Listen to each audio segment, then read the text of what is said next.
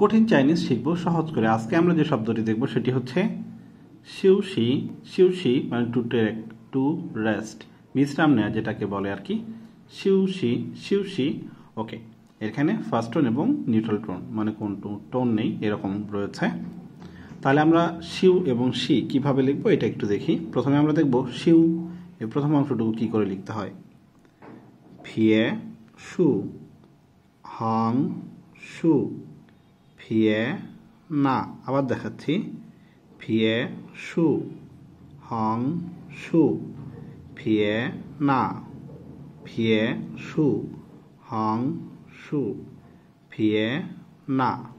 এই হচ্ছে শিউ শিউ তো শিউটাকে যদি আমরা ভাগ করি, এখানে আমরা দুটি অংশ পাবো।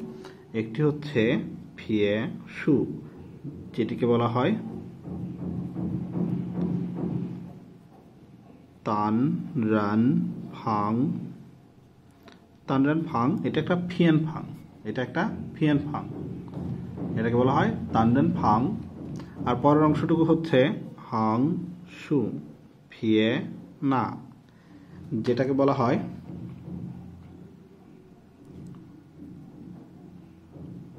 মু। মু মানে হচ্ছে ট্রি। যেটাকে আমরা গাছ বলি আর কি। এটা হচ্ছে, এটাকে মু মানে হচ্ছে ট্রি অ্যান্ড তানজান ফাং, এই দুটাকে একসাথে যদি আমরা করি, তাহলে কি পাবো? শিউ। তাহলে প্রথমে তানজান ফাং, পরে হচ্ছে একটা মু, এই হচ্ছে শিউ। আমরা যদি দেখি, শি, এটাকে কি করে লেখে?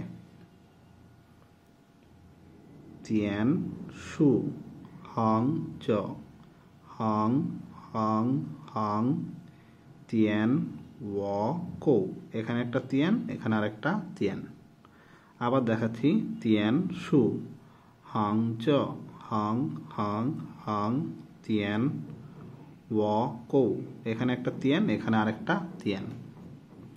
ফিয়ে সু, হং চ, হং হং হং, তিয়ান, ও, কৌ। এখানে একটা তিয়ান, এখানে আরেকটা তিয়ান। এই হচ্ছে শি শি এটাকে যদি আমরা ভাগ করি, তাহলে দুইটা অংশ পাবো। প্রথমে হচ্ছে তিয়ান সু হাং চ, হং হং হং। এটাকে বলা হয় জ মানে হচ্ছে ওয়ান সেলফ আর যদি আমরা দেখি নিচের অংশটুকু, তিয়ান, ও, কো, এখানে একটা তিয়ান, এখানে আর একটা তিয়ান। এটাকে বলা হয় সিন, জ, তি। সিন, জ, তি। যেটার মানে হচ্ছে ওয়ান সেলফ সরি সিনজিতি যেটার মানে হচ্ছে হার্ট মানে আপনার মন বা হৃদয় যেটাকে বলে। সিনজিতি এটা সাধারণত একটা ফিয়ান ফাং ফিয়ান ফাং হিসেবে ব্যবহার করা হয় এবং এটা একটা শব্দ মানে হচ্ছে একটা ওয়ার্ড হিসেবে ব্যবহার করা হয়।